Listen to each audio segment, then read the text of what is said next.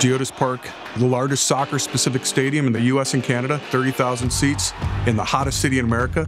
And technology had to be the best. You know, Cisco and AmpThink was just clearly the right partner for us. Nobody else has the ability to cover these areas like Cisco. And we pride ourselves in being able to not only understand the use of technology, but how it's going to drive the most advanced Major League Soccer venue in the United States and potentially in the world. We went to Cisco and said, here's what we want to accomplish.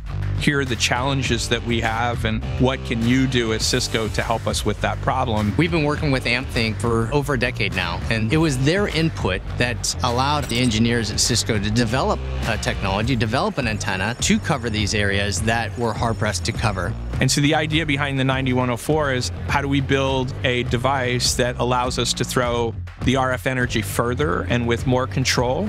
And that would give us the ability to take and do what we were doing, but do it with an overhead antenna. And to that end, Cisco came through in spades. Having the 9104 antenna allowed us to not only do things more efficiently, but save costs to the end user because we just simply didn't need as many antennas that we had in previous deployments. It comes down to the fact that we need to be successful deploying networks, and Cisco's given us the product to get that done. The products and the services and the experience that we're delivering to our fans has been truly remarkable to see. We're making memories and just really excited about the technology partnership with AmpThink and Cisco. It's been truly amazing. How we work as a team, I think, is is, uh, is untouchable. I, I think that we have the best in the industry here at Cisco, and then it's having world-class integrators and consultants like AmpThink. For three years, we were selling a dream and a promise, and to see it all come to fruition was just amazing.